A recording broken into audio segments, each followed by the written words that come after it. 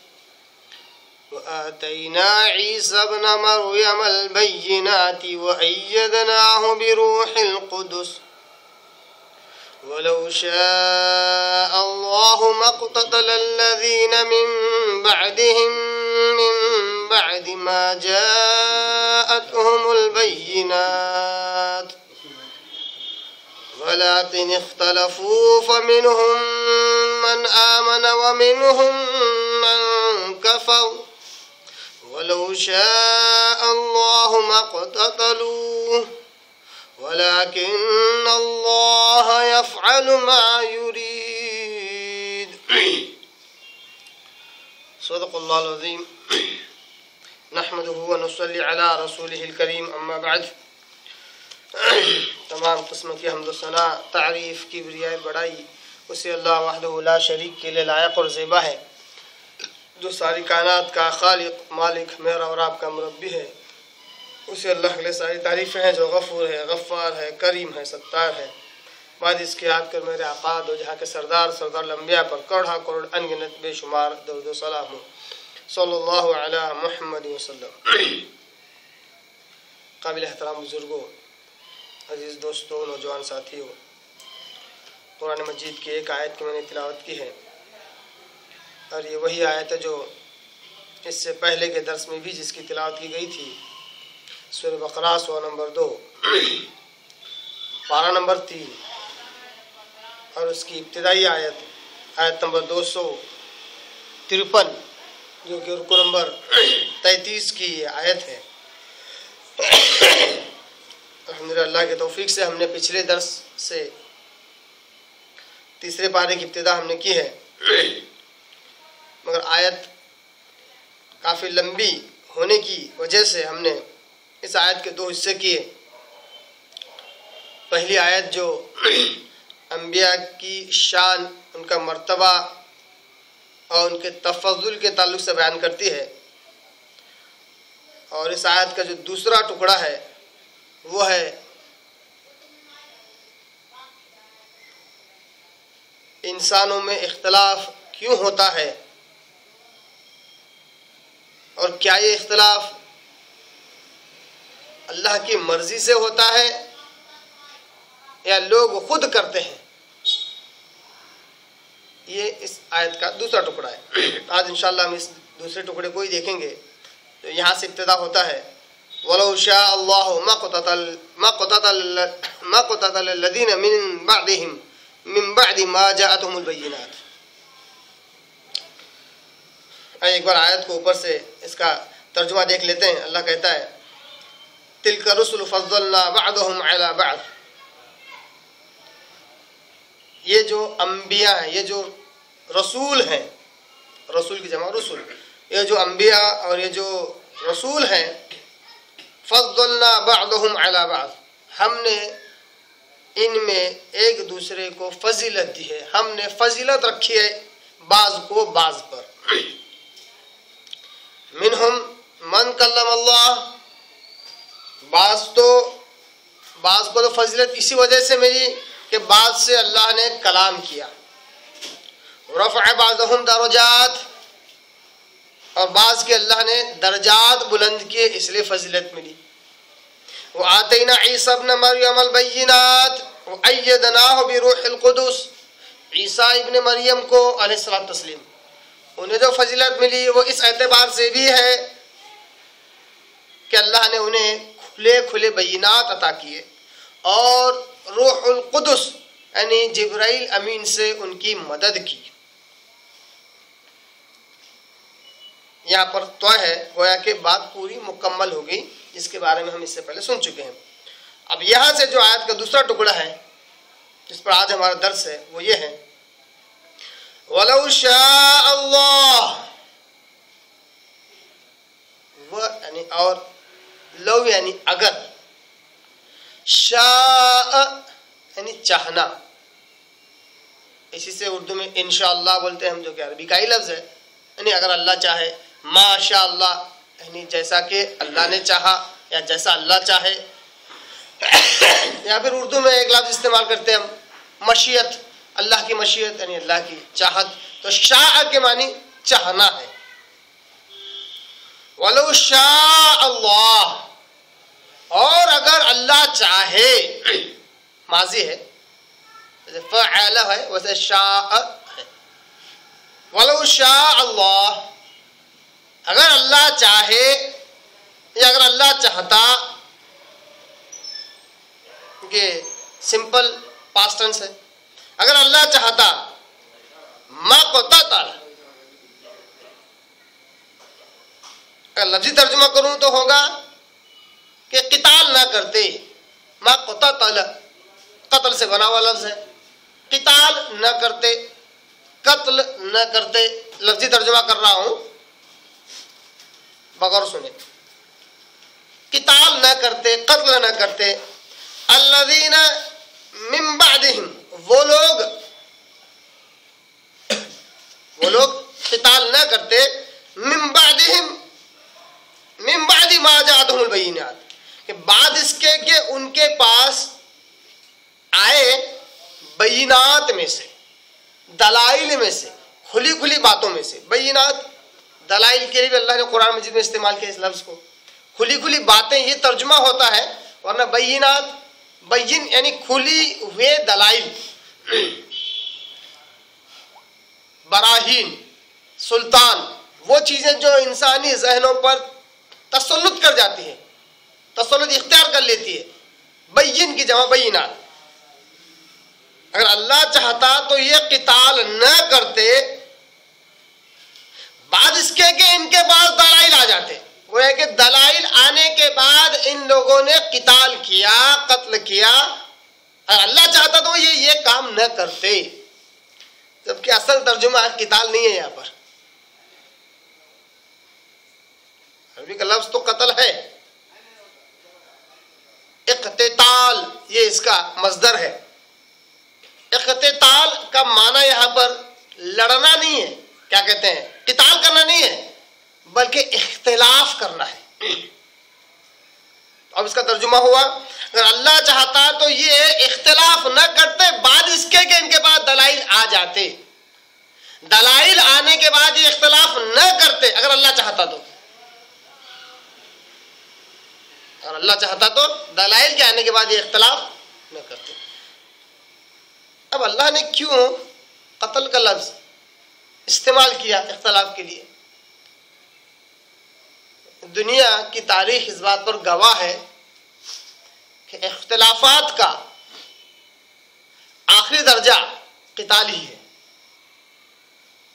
जब भी इंसानों में इख्तलाफ हुआ है तो उसका जो आखिरी दर्जा, हद, दर्जा जो चीज़ होती है, वो उसका किताली होती है। जब भी इख्तलाफ होता है तो लोग आपस में एक दूसरे को कत्ल तक कर देते हैं।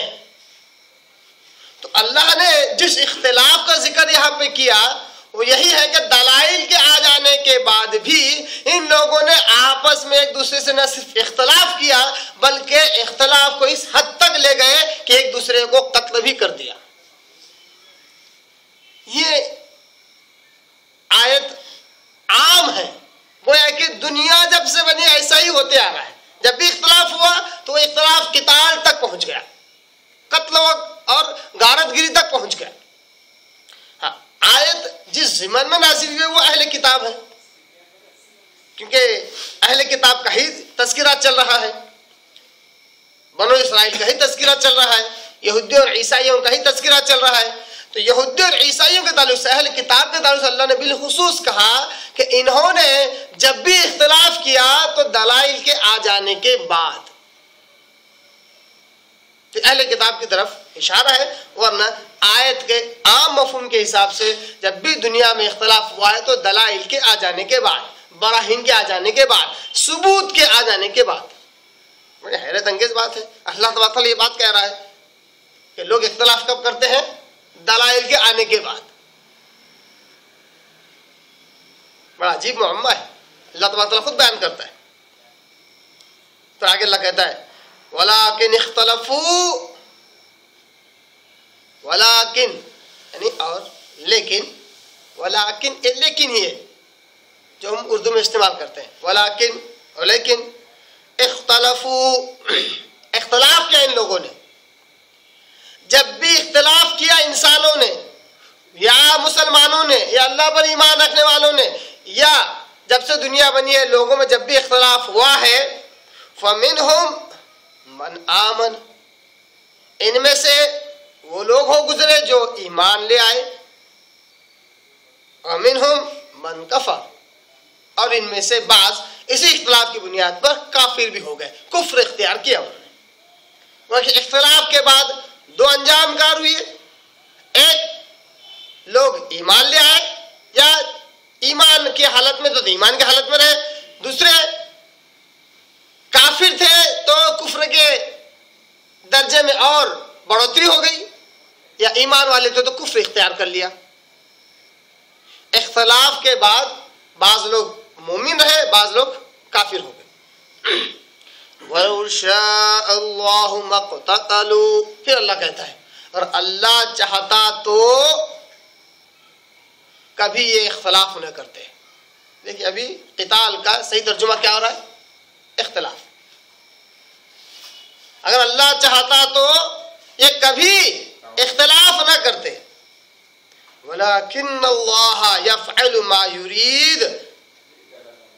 मगर अल्लाह जो चाहता है, वही करता है। वलाकिन और लेकिन अल्लाह यफअलु, करता है, कर गुजरता है। मायूरीद जिस बात का इरादा करता है। युरीद, इरादे से बना हुआ लफ्ज मायूरीद जिस बात का अल्लाह इरादा करता है अल्लाह कर गुजरता है। वह के मालूम हुआ कि लोगों के दरमियान जो इख्तलाफ होता है, वो अल्लाह के इरादे की वजह से होता है। अल्लाह चाह रहा है, इसलिए इख्तलाफ हो रहा है। फिर लोगों पर शिकायत क्यों? कि लोग इख्तलाफ करते हैं। लोग आपस में लड़ते हैं जबकि अल्लाह कहता है कि अल्लाह चाहता है इसलिए इख्तलाफ हुआ। क्यों अल्लाह ऐसा कह रहा है? इस आयत को समझने के लिए सबसे पहले ये नुक, ये नुक्ता समझते हैं ये टुकड़ा आयत का समझते हैं। वो है मक़तलल्लज़ीन मिन बअदिहिम मिन बअदि मा जाअतहुमुल बिलखसूस अहले किताब की तरफ़ इशारा है वैसे आम तौर पर लोगों के दरमियान जो इख्तलाफ होता है उसकी तरफ़ अल्लाह ताला इशारा करके कहता है कि ये इन्होंने इख्तलाफ किया तो तब किया जब इनके पास बैनात आई दलाइल आए बराहीन आए दलाइल के आ जाने के बाद इन्होंने इख्तलाफ किया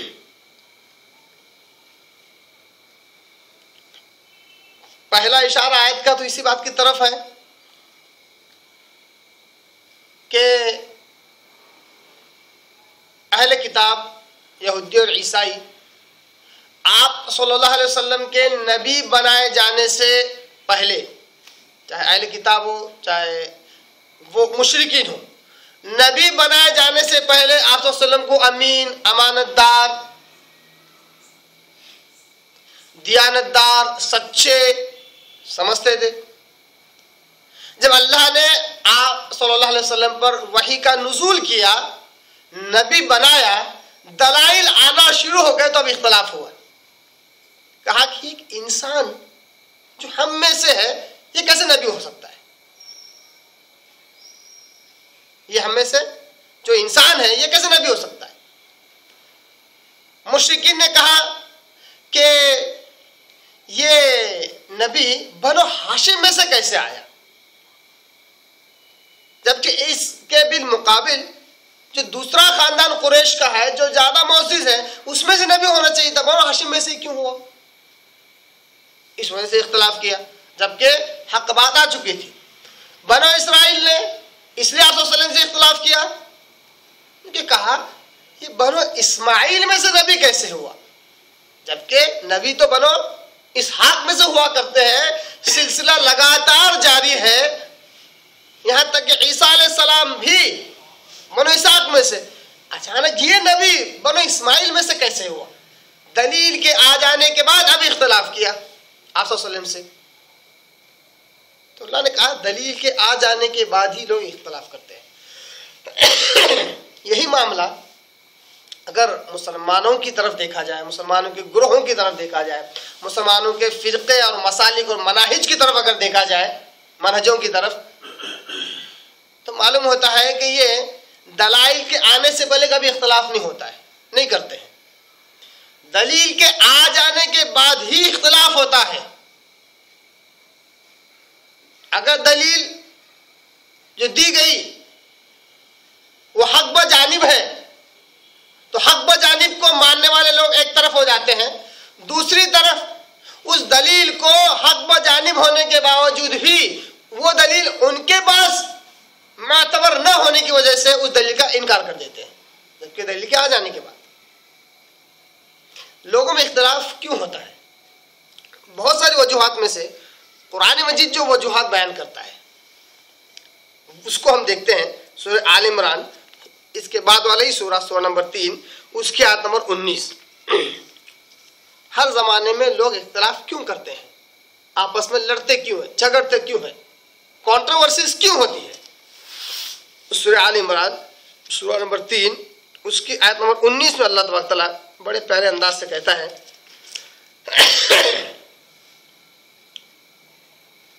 इन इस्लाम।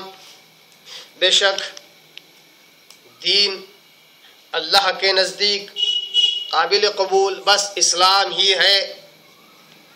क्या बेहतरीन आयत है, क्या बेहतरीन टुकड़ा है देखिए आप। क्या कहता अल्लाह ताला? इन दीन इन इस्लाम। बेशक दीन अल्लाह की निगाह में काबिल कबूल, पसंदीदा वो सिर्फ़ इस्लाम है। लोग इसका माना ये लेते हैं, सही भी है। कि आखिरत में हशर के मैदान में जो दीन काबिल कबूल होगा वो इस्लाम है। कोई भी धर्म अगर कोई इंसान लेकर जाए, अल्लाह को कबूल नहीं करेगा। ये बात सच्चाई है, हक है। ये आयत अगर मुसलमानों पर पेश करें तो इसका क्या माना मफहूम निकलेगा? ये बात तो दुरुस्त है कि इस्लाम ही सच्चा दीन है, अल्लाह इसी को कबूल करेगा। जब लोगों में इख्तलाफ बढ़ जाता है, जब लोगों में इख्तलाफ बढ़ जाता है और एक ही इस्लाम लोगों में बट जाता है और हर कोई जब ये दावा करता है कि हम असली इस्लाम पर है, हम हकीकी इस्लाम के मानने वाले हैं, अब समझ में नहीं आता है कि किसके पास सही इस्लाम है। तो अल्लाह ने कहा इन दीन इस्लाम। अल्लाह के नज़दीक जो दीन पसंदीदा है काबिल कबूल है, वो सिर्फ़ इस्लाम है। गोया कि इस्लाम का मानने वाला मुस्लिम अल्लाह की निगाह पसंदीदा है। तो अल्लाह को जो लेबल पसंद है, वो मुसलमान का लेबल है। अब जो अपने आप को मुसलमान कहेगा और इस्लाम से जुड़ कर रहेगा, वो इस्लाम के दिन पर होगा। अब जो अपने आप पर मुसलमान के लेवल के बजाय किसी इंसान की तरह मंसूब करेगा, किसी हस्ती की तरह मंसूब करेगा तो ज़ाहिर सी बात है, उसका ये इंतसाब उसी शख्स की तरफ़ होगा। जबकि होना चाहिए ये इंतसाब? नबी वसल्लम की तरफ़, जिन्होंने ये इस इस्लाम की तस्दीद की और इस उम्मत के आगे रखा। अल्लाह ने कहा, पसंदीदा दीन जो काबिल कबूल होगा, वो वो दीन है जो मेरे नबी इस दुनिया में लेकर आए। आप ने जिस तरीके का दीन साहबा के आगे पेश किया, साहबा ने जिस तरह ताबीन तब ताबीन वगैरह के आगे पेश किया, वो दीन अल्लाह की निगाह में काबिल कबूल है।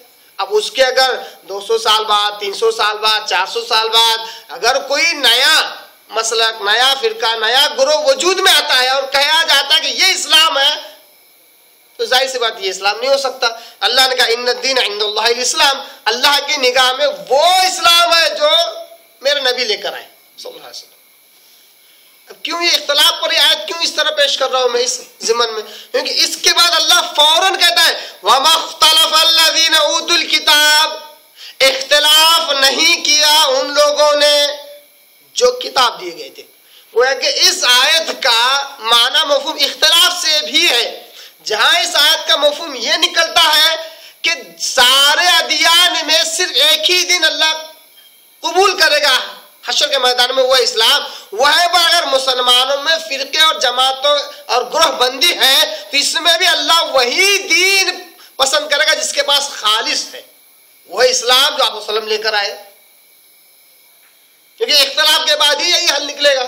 तो अल्लाह ने कहा, वह वमख्तलफीन ऊतुल किताब। इख्तलाफ नहीं किया उन लोगों ने जिन्हें किताब दी गई थी, इल्ला बाद इसके के मिम बाद माजा अहमुल इल्म। बाद इसके के उनके पास इल्म आया। मैंने बारह इससे पहले कहा है कि लफ्ज इल्म, वो ऐसे सीधा साधा लफ्ज नहीं है। ये इल्म दलील के लिए इस्तेमाल होता है। लफ्ज इल्म कुरान मजीद में और अहदीस में वगैरह दलील के लिए, प्रूफ के लिए इस्तेमाल होता है। तो अल्लाह ने कहा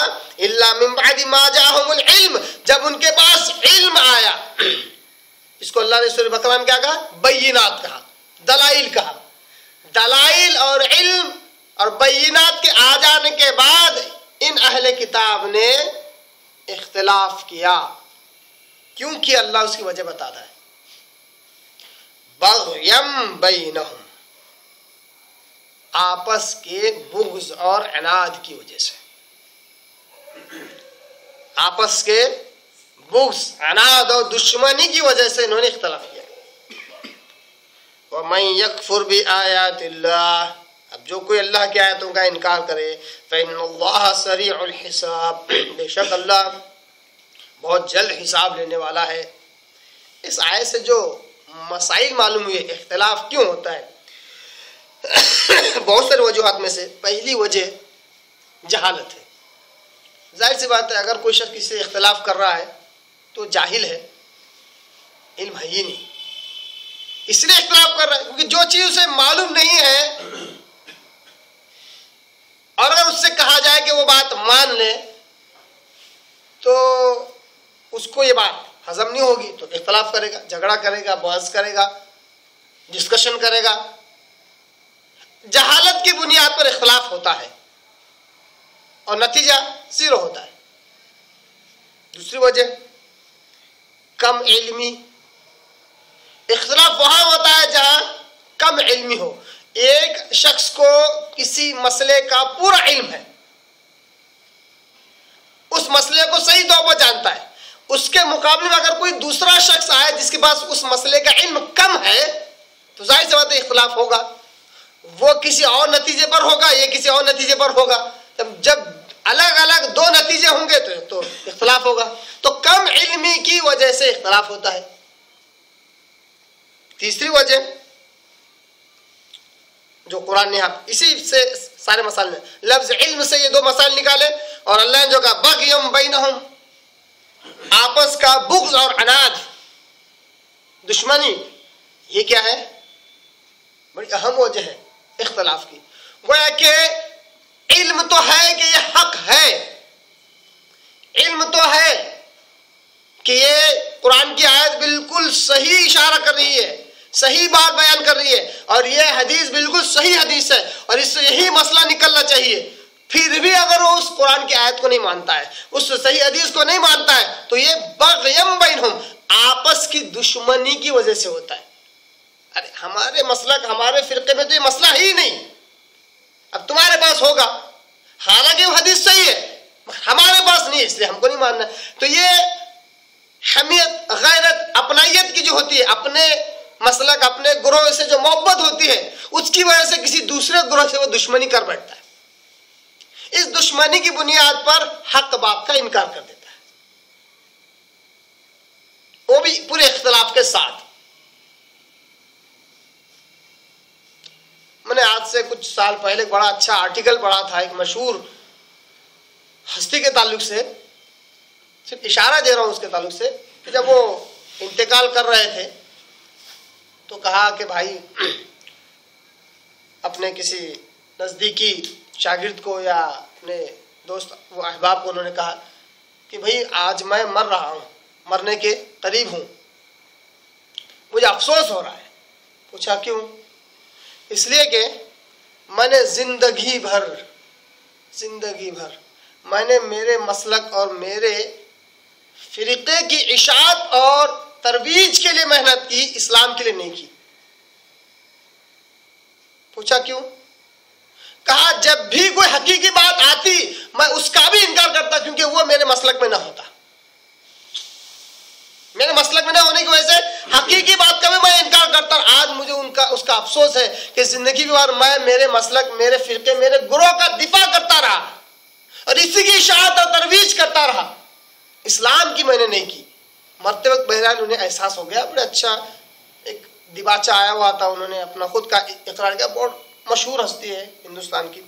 बहरहाल तो ये इससे हमें जो नसीहत हासिल करना वो ये है कि आखिर वक्त ये एहसास हो गया कि उन्होंने इस्लाम की तरवीज और इशात नहीं की, बल्कि अपने गुरु, अपने मसलक की तरवीज की। और हक बात आने के बावजूद भी बसा औकात उन्होंने उसको छोड़ भी दिया, क्योंकि उनके मसला को फिरते में नहीं थी।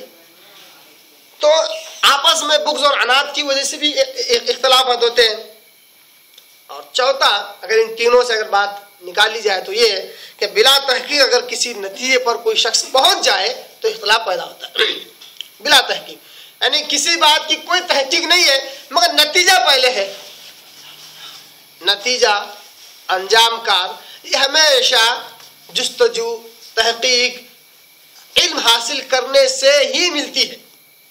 नतीजा जो होता है, किसी बात का नतीजा, वो तहकीक करने के बाद, जस्तजू करने के बाद, मेहनत मुशक्क़त करने के बाद ही वो नतीजा मिलता है। अगर किसी शख्स को कोई नतीजा दिया जाए और उसके पीछे उसकी कोई काविश और मेहनत ना हो तो भी इख्तलाफ पैदा होता है। यानी कि मिसाल के तौर पर, कोई शख्स किसी को कहे कि इसमें यही मसला है, अब तुम्हें दही करने की ज़रूरत नहीं है, तुम्हें देखने की ज़रूरत नहीं तुम्हें दलील जानने की ज़रूरत नहीं है। इस मसले में यही सही मसला है। गोया कि ये सही मसला जो दिया जा रहा है, वो नतीजा है। अब उस नतीजे को ही सब कुछ समझता है। जबकि उसकी उसने तहकीक नहीं की है। जब उस नतीजे के बरखिलाफ कोई दूसरी बात अगर कोई शख्स कहता है तो फ़ौरन उससे लड़ने को बैठ जाता है, झगड़ने को बैठ जाता है। क्यों? क्योंकि ये नतीजा तो उसको बरए रास्त बगैर किसी मेहनत के मिला तो इख्तलाफ पैदा होता तहकीक हो, दलाइल की रोशनी में देखा जाए और किसी नतीजे पर पहुँचे तो उस शख्स में सादगी भी होती है। वो कहता है, देखो भाई, मैंने फला फला दलाइल की बुनियाद पर यह नतीजा कायम किया। इस इस नतीजे के तौर से फला उलमा भी इस तरह कहते हैं, फला मुफ्तिया कराम भी इस तरह कहते हैं। इस एतबार से ये नतीजा है, जो मेरी समझ के मुताबिक है। अगर इसमें गलती हो तो इसलाह करो। सामने वाला कहता है देखो भाई, ये जो दलाइल है, इसमें तुम्हारी यहाँ पर गलत फहमी है। ये दलील का मफहूम ये नहीं है, बल्कि ये है। इस दलील की सही समझ ये नहीं है और ये है। तो ज़ाहिर सी बात है, जिसने मेहनत की, उसको मालूम हो जाए कि उसकी मेहनत रायगा और ज़ाया हो रही है तो गलती का एहसास उसको होता है और सही समझ को इख्तियार करता है। जिसने मेहनत ही ना की हो और बनाया बनाया लड्डू जिसके मुँह में डाल दिया गया हो, वो कहेगा कि जो कुछ है ये, जो जो मिला है यही आखिरी अंजाम है। इसलिए इसके ताल्लुक से बुग अनाथ की बुनियाद पर वो झगड़े पर भी उतर आता है, बहस भी करता है। तो ये थी चंद बातें कि अल्लाह ने कहा कि इन्होंने जो इख्तलाफ के दलाइल के आ जाने के बाद। आज देखिए, आज पूरे दुनिया में मुसलमानों के पास क्या इस्लाम नहीं है? क्या अल्लाह किताब मौजूद नहीं है? क्या आप की हदीस मुबारक मौजूद नहीं है? आप की सीरत मौजूद नहीं फिर भी क्यों इख्तलाफ है? दलाइल है, इसलिए इख्तलाफ है। अगर ये ना होता तो शायद इतिहाद होता। अल्लाह यही साबित करना चाहता है। अल्लाह हमेशा अपनी हुज्जत पूरी करता है।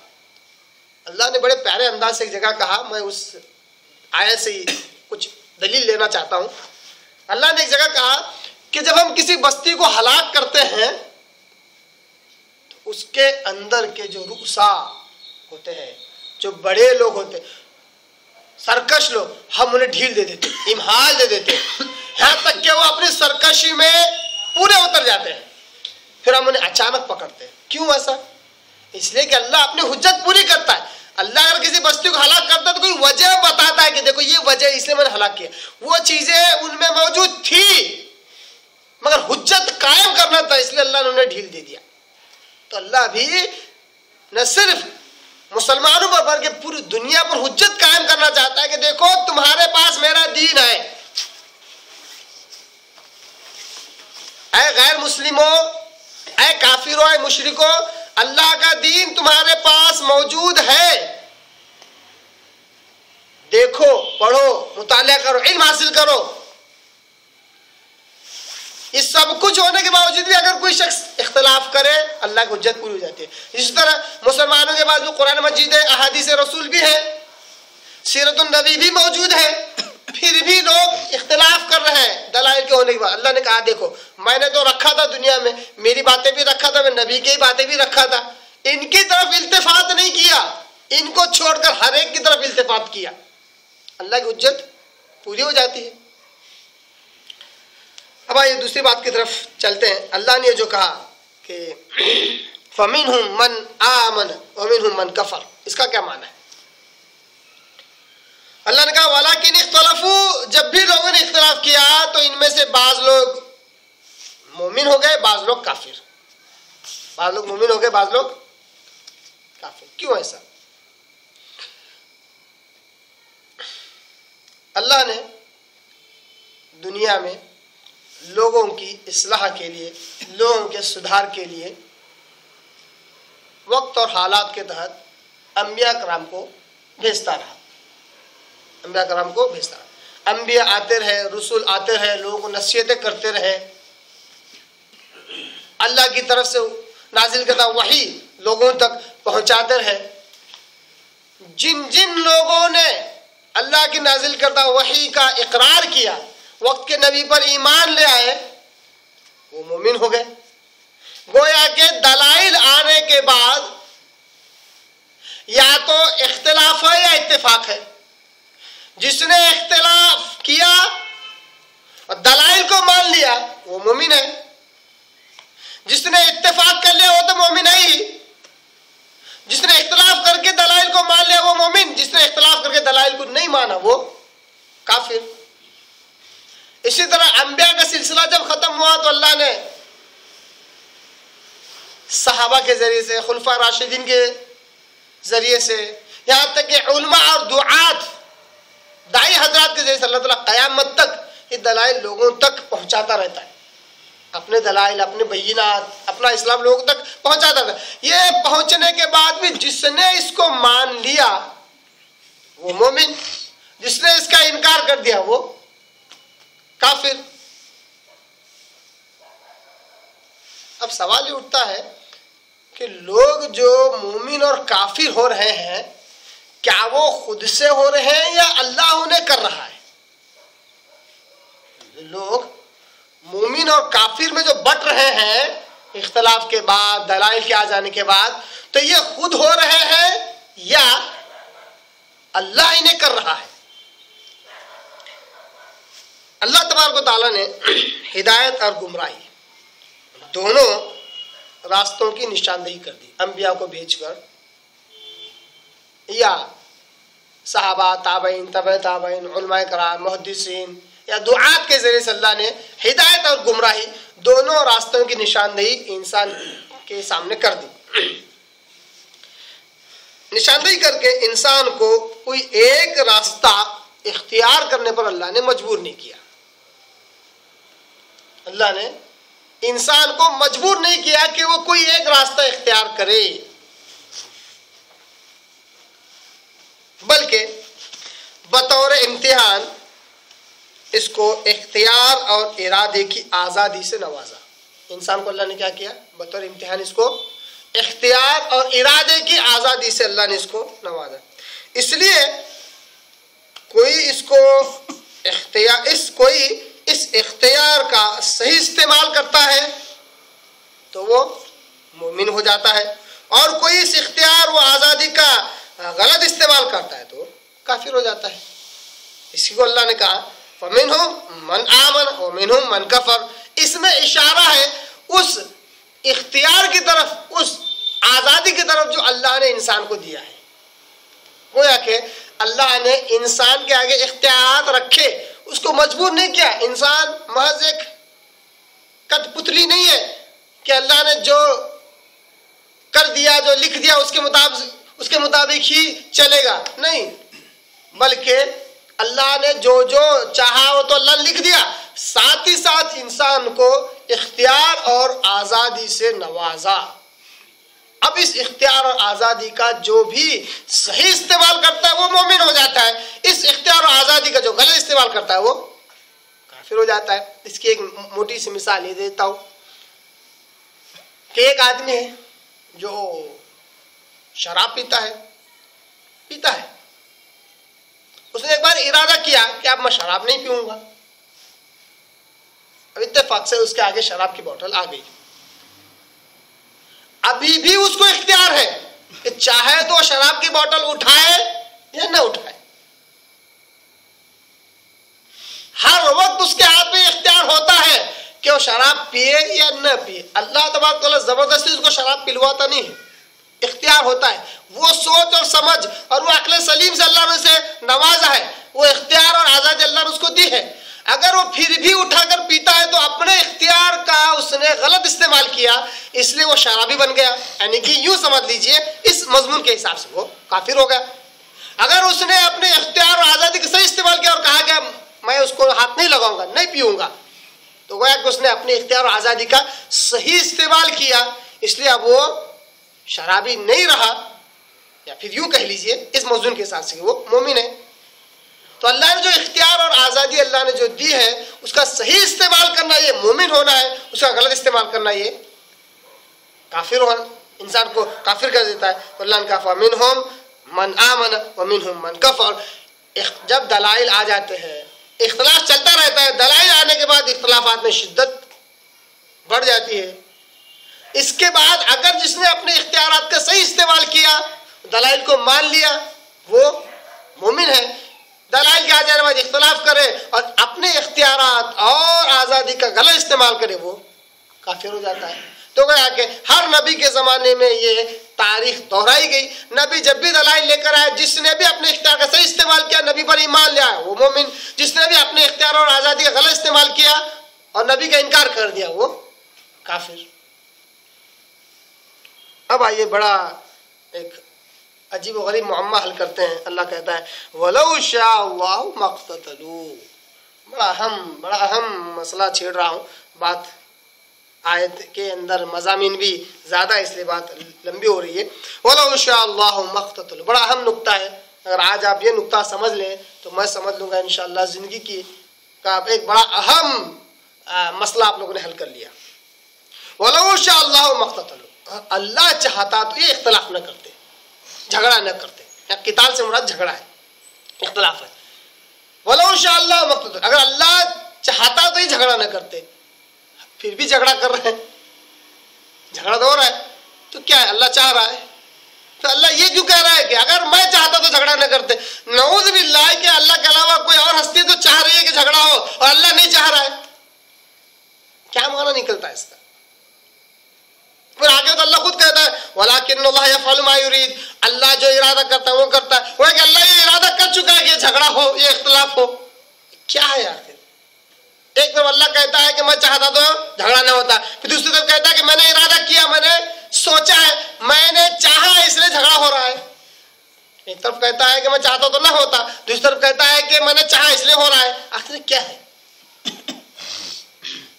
अजीब गरीब मोहम्मद है। सूर्य यासिन की आयत देख लेते हैं। सूर्य यासिन की बड़ी प्यारी आयत है। मैंने कहानी अगर हम देखें तो उस आयत को इसलिए पेश कर रहा हूँ ताकि थोड़ा मुहम्मा और पेचीदा नज़र आए ताकि मसला हल करने में आसानी हो। कुफ़ार मुसलमानों पर जो एतराज़ करते थे, वो इस तरह करते थे कि जब मुसलमान कहते हैं उन्हें कि गरीबों को खिलाओ, मिस्किनों को खिलाओ तो वो मुसलमानों से कहते कि क्या हम ऐसों को खिलाए जिनको अगर अल्लाह चाहता तो खिला देता? फलोशा अल्लाह अतम क्या हम ऐसों को खिलाएँ? देखिए, आयत नंबर सैतालीस। सूर्यासी, सोलह नंबर छत्तीस पारा नंबर तेईस आठ नंबर सैतालीस।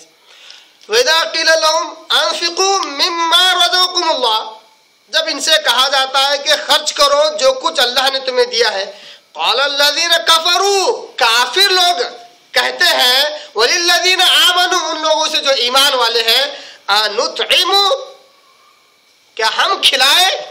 क्या हम खर्च करें? क्या हम खिलाए? अतामा कि अगर अल्लाह चाहे तो उन्हें खिला सकता। जब अल्लाह चाहे तो खिला सकता तो अल्लाह की हुक्म दे रहा है कि खिलाओ। अल्लाह ने कहा, इन अन तुम मुबीन। अल्लाह ने कहा, ये जो बेतुकी की बात है, इसी की वजह से बड़ी दूर की गुमराही में है ये खुली गुमराही में। अल्लाह कह रहा खिलाओ। अब अल्लाह पर ही एतराज़ कि अल्लाह चाहता तो अल्लाह खुद खिला देता। हमारे हाथ से क्यों खिलवा रहा है? तो क्या है? ये क्या वाकई अल्लाह चाहे तो नहीं खिला सकता? फिर क्यों अल्लाह हुक्म दे रहा है? ऐसी बहुत सारी कुरान मजीद की आयतें हैं जो बसानी समझने से एक मुबतदी कासिर हो जाता है। इस मामले का हल बस इतना ही है कि अल्लाह की मशीयत हमत इरादा एक अलग चीज़ है। अल्लाह की मर्ज़ी और रज़ा एक अलग चीज़ है। अगर ये दो बातें अगर अलग अलग समझ में आ जाए तो ये मामे ये मामा हल हो जाएगा। अल्लाह की मशीयत हमत इरादा अलग चीज़ है और अल्लाह की मर्ज़ी और रज़ा एक अलग चीज़ है। दोनों अलग अलग है। अल्लाह की मशीयत, जिसका ज़िक्र यहाँ पर है हमत इरादा, मशीयत यानी चाहना ये उमूर तकवीनी से जुड़ा हुआ है। उमूर तकवीनी से जुड़ा हुआ है, जिसके तहत जो कुछ भी होता है, उसकी हमत मसलियत है, जिसको उसके अल्लाह के सिवा कोई नहीं जानता। उम्र तकवीनी, यानी कायनात के बनाने के ताल्लुक से अल्लाह की जो जो मर्ज़ी और इरादा और चाहत थी, अल्लाह ने बना दिया। अब अल्लाह से कोई पूछ नहीं सकता कि अल्लाह तूने सात आसमान ही क्यों बनाए? दो भी बना लेता तो काम हो जाता था। अल्लाह पर यह सवाल नहीं किया सकता। अल्लाह चाहता था सात बनाना, सात बना दिया अल्लाह ने। अल्लाह चाहता था कि अनगिनत प्लैनेट्स सैारे सितारे गैलेक्सीज में ज़मीन जहाँ पर इंसान बसेगा, यहाँ पर अंबिया आएँगे, अल्लाह ने चाह कर दिया। अब अल्लाह पर कोई सवाल नहीं कर सकता कि अल्लाह ऐसा क्यों चाहा? उमूर तकवीनी से जो चीज़ें जुड़ी हुई वो अल्लाह की मशीयत है, इरादा है, हिकमत है। क्यों अल्लाह ने किया, वो अल्लाह ही बेहतर जानता अल्लाह ने तकदीर लिख दी। तकदीर क्या है? अल्लाह की मशीयत है। इस जुमले को याद रखना। तकदीर अल्लाह की मर्ज़ी है, नहीं है। तकदीर क्या है? अल्लाह की मशीयत है। अल्लाह जो जो चाहता था, अल्लाह लिख दिया। अल्लाह ने यहाँ तक लिख दिया कि कौन जन्नत में जाएगा और कौन जहन्नम में। बाद लोगों ने सवाल किया मशीयत पर। देखिए, तकदीर भी बड़ा पेचीदा मौजू है। जब कहा गया कि अल्लाह की मशीयत अल्लाह ने जो चाह लिख दिया कि कौन जन्नत में जाएगा, कौन जहन्नम में तो कहा अल्लाह चाह कर जन्नत और को फसला कर रहा है तो हमारी क्या गलती है? तो हमने कहा, भाई, तकदीर, जहाँ अल्लाह की मशीयत है वह अल्लाह का इल्म भी है। अल्लाह का इल्म भी अल्लाह को मालूम है कि कौन जन्नत में जाने वाला, कौन जहन्नम में। अल्लाह को जो जो मालूम था, अल्लाह ने सब तकदीर लुह महफूज में लिख दिया। ये वैसा ही है जैसे कि एक उस्ताद, चार लोगों का इम्तिहान ले। इम्तिहान से पहले बोलते कि ये दो पास होने वाले और ये फेल होने वाला है। अगर कहे गए उस्ताद, आपके बोलने की वजह से मैं फेल हो गया तो उस्ताद पर इल्ज़ाम होगा। जब एक इंसान का मामूली सा अंदाज और इल्म इतना एक्यूरेट हो सकता है, वो तो अल्लाह जिसने सारी कायनात को बनाया। तो तकदीर अल्लाह का इल्म भी है, अल्लाह की मशीयत भी है। तो उमूर तकवीनी, कायनात के बनाने के ताल्लुक से जो कुछ है वो अल्लाह की मशीयत, हिकमत और अल्लाह का इरादा है। और और बगौर सुनना, ध्यान से। मर्ज़ी क्या है? अल्लाह की रज़ा क्या है? अल्लाह की रज़ा और मर्ज़ी उमूर तशरी से जुड़ी हुई है। उमूर तशरी यानी अल्लाह की शरीयत। अल्लाह ने जो शरीयत दी इंसानों को, वो अल्लाह की मर्ज़ी और रज़ा है। अल्लाह किन चीज़ों से खुश होता है? अल्लाह ने कह दिया कि देखो, तुम नमाज़ पढ़ो, मैं खुश हूँगा तुम रोज़े रखो, मैं खुश हूँगा तुम मेरे राह में जिहाद करो, मैं खुश हूँगा मैं नबी पर ईमान ले आओ, मैं खुश हूँगा ये उमूर तशरी शरीयत के जो उमूर है अहकाम है, उनसे अल्लाह राज़ी होता है। अल्लाह ने कहा, शराब मत पियो, मैं खुश होऊँगा। तो शराब के न पीने से अल्लाह राज़ी होता है। अब फिर भी अगर कोई शराब पी ले और कहे कि अल्लाह चाहता था, अब तो अल्लाह को मालूम है तू क्या कर सकता है। अल्लाह को मालूम है तू क्या कर सकता है। तू पी रहा है, अल्लाह को पहले से मालूम है। मगर अल्लाह तेरे इस अमल से खुश नहीं है। अल्लाह को पसंद नहीं है ये बात। कि तू शराब पिए, कि तू बुराई में मुलविस रहे। तो अल्लाह की मर्ज़ी और रजा यह है जो अमूर तशरी से जुड़ी हुई शरीयत के अहकाम पर अमल करना और इनसे, इसमें जिन चीज़ों से बचने को कहा गया, उनसे बचना, ये अल्लाह की रजा को दावत देता है। अल्लाह की खुशी को दावत देता है। अल्लाह को खुश करता है, अल्लाह की रजा हासिल करता है। तो अल्लाह ने कहा, अगर अल्लाह चाहता तो ये इख्तलाफ न करते। इसका मतलब अल्लाह ने पहले ही चाह कर रखा है कि दुनिया में इख्तलाफ होना। तभी तो बतौर इम्तिहान। मोमिन अलग होंगे, काफिर अलग होंगे। अगर इख्तलाफ ना हो तो जन्नत और जहन्नम दो अलग चीज़ें बनाने का सवाल ही नहीं उठता। तो अल्लाह ने चाहा कैसा हो? तो क्यों चाहा? ये अल्लाह इसकी हिकमत को बेहतर जानता है। अल्लाह ने कहा, अल्लाह चाहता तो ये इख्तलाफ भी ना करते। मगर अल्लाह ने चाहा इख्तलाफ हो वो उसकी मर्ज़ी है। इख्तलाफ हो रहा है। इससे अल्लाह आजमा लेता है। कि कौन है जो मोमिन है, कौन है जो काफिर है? यहाँ तक कि अल्लाह ने मुनाफिकों के ताल्लुक से कहा कि अल्लाह इससे आजमाना चाहता है कौन मुनाफिक है। मुनाफिकों के गुरों को भी अल्लाह ने अलग किया। तो अल्लाह आजमाता है। अल्लाह इम्तिहान ले रहा है। अल्लाह चाहता तो ये कुछ भी ना होता अल्लाह ने चाहा इसलिए हो रहा है। मगर जो कुछ हो रहा है, ये अल्लाह की रजा है, अल्लाह की मर्ज़ी है, ये साबित नहीं होता। तो अल्लाह ने कहा बोला किन्नफ़लमायूरीद अल्लाह जिस बात का इरादा करता है, वो करता है, ये उमूर तकवीनी से जुड़ी हुई आयत है। ये थी आयत नंबर दो सौ तिरपन। अल्लाह से दुआ करता हूँ, अल्लाह ताला हमें कुरान की सही समझ दे, कुरान की आयतों को सही समझने के अल्लाह में तोफ़ी अदा फरमाए। वाखुदावाना